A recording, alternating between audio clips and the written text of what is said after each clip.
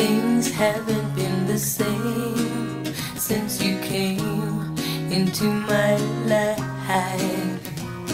You found a way to touch my soul, and I'm never, ever, ever gonna let it go.